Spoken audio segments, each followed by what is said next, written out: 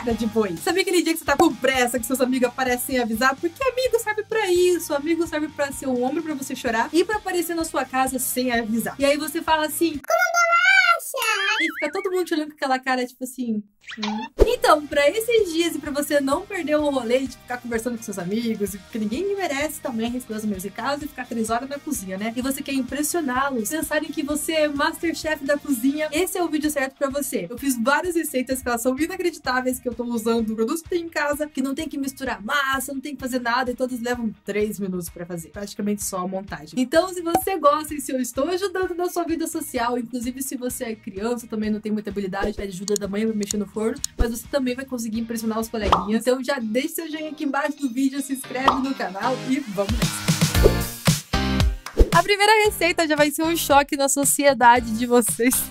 mas ela é tão fácil, mas tão fácil, e fica tão boa, mas tão boa, que ninguém vai conseguir identificar como você fez isso daí. E primeiro você vai precisar de dois ovos. E abrir uma tigela, dois ovos com clara e gema, tudo junto. Coloque ali uma xícara pequenininha de leite. E aí você vai acrescentar uma colher de chá de canela em pó e uma colher de sopa de açúcar. Na verdade, eu coloquei um pouquinho mais porque eu quero que ele fique bem docinho. Não se preocupe, porque como você vai colocar em pão salgado, é bom colocar um pouquinho mais de açúcar para ele ficar docinho, tá? O quê? Falei, pão, o quê? Calma, calma, não vamos estragar a surpresa. Primeiro lugar, você vai mexer tudo isso, eu tô usando um fouet, e eu vou mexer até ele ficar bem misturadinho, não sobrar uma pelotinha. Se você preferir, achar mais prático, tiver aí, ó, o seu alcance, bate no liquidificador que, ó, dois segundos já tá batido. Melhor do que ficar poesando ali o negócio todo e não misturar nunca, né? Beleza, agora eu vou pegar um pão de forma, vou cortar ele redondinho, tirar as casquinhas de volta, e para cada bolinho que você for fazer, você vai precisar de duas rodelinhas de pão de forma. Você vai pegar esse pão e vai molhar ali na nossa receita milagrosa de bolinho. E aí você pegar uma forma dessas de cupcake, vai untar com manteiga, só untei com manteiga mesmo, não precisa passar trigo nem nada, porque ele não vai grudar se tiver em boas condições a sua forma, lógico, né? Senão você dá uma montada melhor. Mas eu untei a minha só com margarina e foi de boa, saiu tranquilamente. Aí você vai pegar uma rodelinha untada e vai colocar ali no meio, vai dar uma apertadinha e vai modelar esse pãozinho para ele conseguir ficar ali arrumadinho, bonitinho, tá? E sobrar uma entradinha dentro. Tô fazendo isso isso a quantidade que eu quero fazer. Eu quero fazer uns seis aqui, porque eu tô com a galera aqui, cada um vai comer um. Não tem repetição nessa casa aqui, não. E porque era isso que o meu pão de forma que eu tinha em casa dava, né? Mas beleza. Fiz ali todas as caminhas, arrumei tudo bonitinho. Você tá vendo que ele tá bem molhadinho, não tem problema. Ele fica bem molhadinho mesmo. E aí dentro você pode rechear com o que você quiser. Eu recheei meia meia. Metade eu coloquei ali doce de leite. Eu coloco o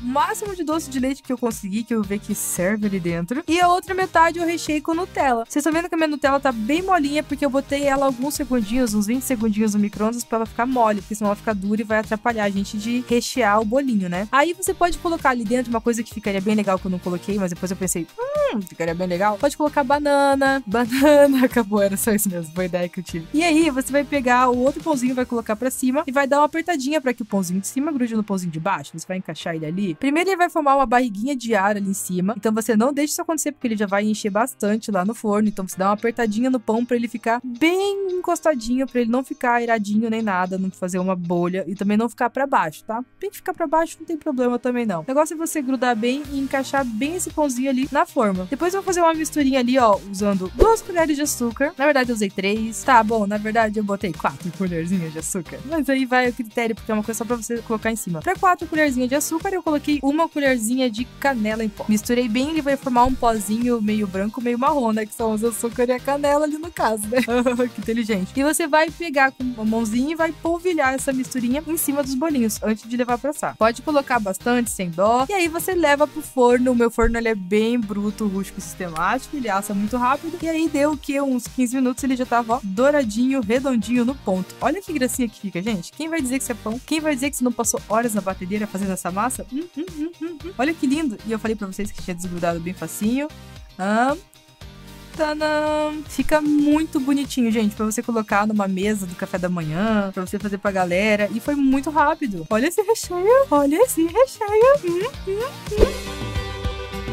Para a próxima receita, primeiro a gente vai precisar de um molho de carne moída. Primeiro eu coloco azeite de oliva, depois eu coloco alho, cebola, essas coisas normais que a gente usa para fazer carne moída mesmo. Se você não gosta de alho, não coloca, não gosta de cebola, não coloca. É toda parte aí eu coloco a carne moída. Aí eu já aproveito para temperar, põe um pouquinho de sal ali e vou mexendo para ele desempedrar, para ele ficar mais soltinho, né? Que a gente precisa que essa receita fique bem soltinha. Então eu vou batendo ali com a colherzinha para soltar. No caso. É, pra soltar. Uhum. Já coloco uma boa quantidade de pimenta, porque eu já amo comida pimentada. E quando é pra gente fazer alguma coisa assim, meio americana, arriba, arriba, arriba, arriba, arriba, arriba. Nós temos que caprichar na pimenta mesmo. Coloquei ali um pouquinho de noz moscada, que eu gosto muito, é um ingrediente, assim, meu ingrediente secreto para carnes. Então, se você não sabe pra que usar noz moscada, coloca um pouquinho na carne, que fica hum, maravilhoso. Beleza, fui ajudando com a colher pra deixar solto e fui fritando a carne. Esse é o primeiro ponto. Antes de você colocar qualquer molho, você tem que deixar a carne bem frita ali. E aí, eu coloquei um molho maravilhoso de tomate. Misturo bem, eu coloquei um pacotinho inteiro pra ele ficar bem molhadinho mesmo. Esse molho eu gosto bastante que eu tô usando é da Heinz, não sei se é assim que fala, mas ele tem uma cor assim bem tomate mesmo, parece que não tem tanto corante, sabe? Ele tem os pedacinhos de tomate que eu acho assim, ó, divino. Misturei bem e aí você baixa o fogo, você abaixa o fogo ali do fogão e deixa ele fritando, porque a ideia é que ele vá cozinhando aos poucos e que o gosto da carne pegue ali no seu molho de tomate. Coloquei também cheiro verde, essas coisas assim, tempero normal, deixei fritar mais um pouquinho quando ele levantar bastante fervura e começar a ficar bem douradinho. Ó, oh, que delícia!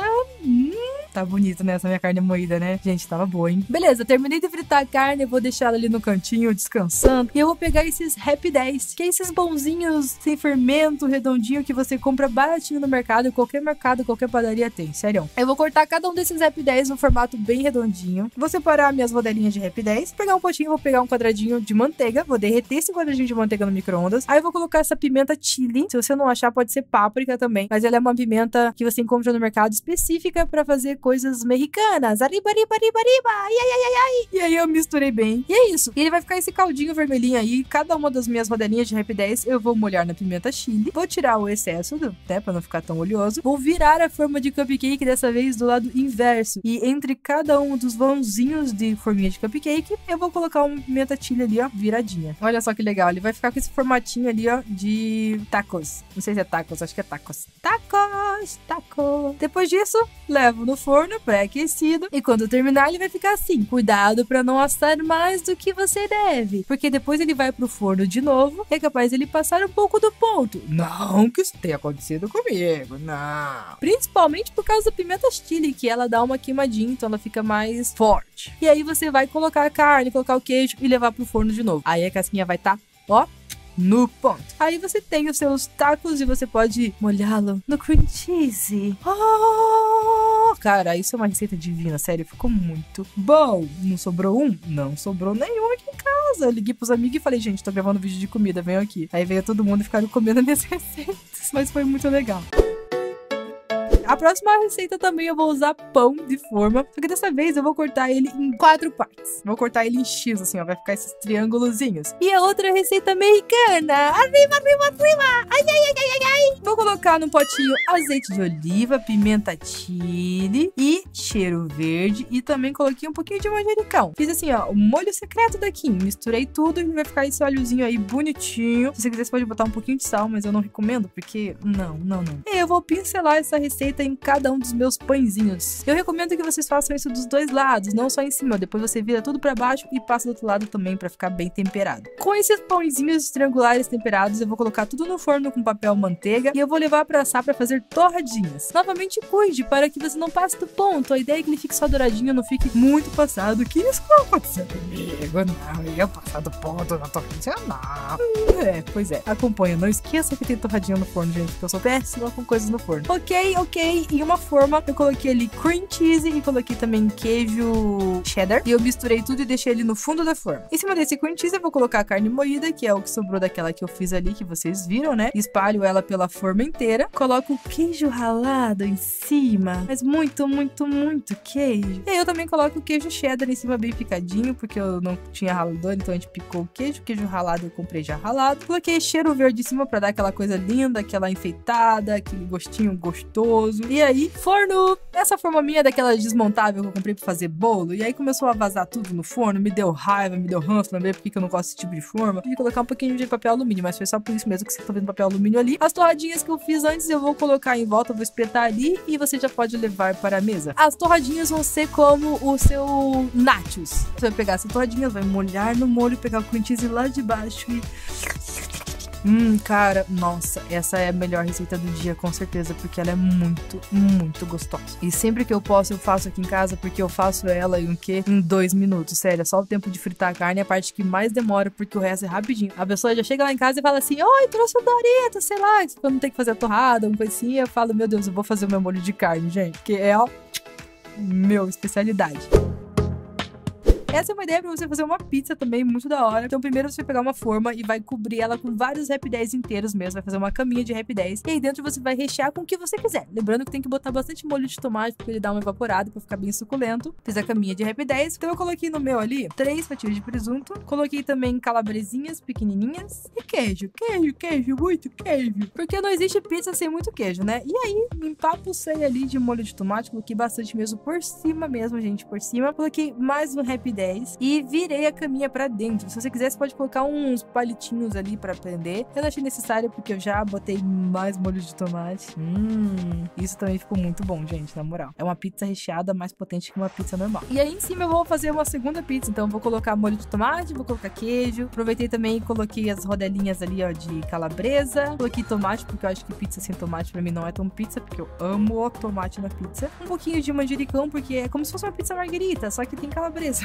e aí eu levo pro forno e quando sai, hum, gente, mas olha só isso. Olha a grossura dessa pizza. O primeiro pedaço é sempre um pouquinho mais difícil de cortar, mas é só o primeiro pedaço mesmo, porque ainda não tem muito onde você apoiar pra pegar. Mas olha isso, gente.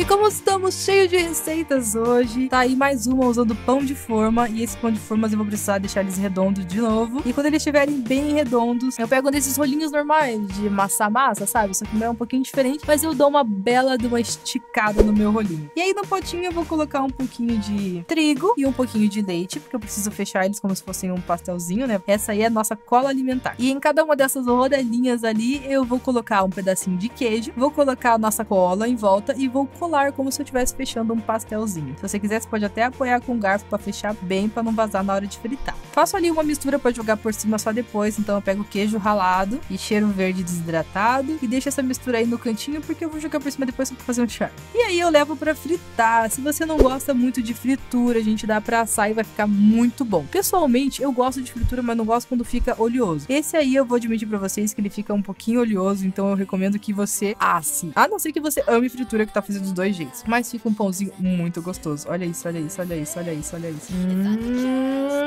olha esse queijo. E fica muito lindo, gente. Você olha e fala assim, quero muito comer isso. Oh, meu Deus. Um beijo. Tchau.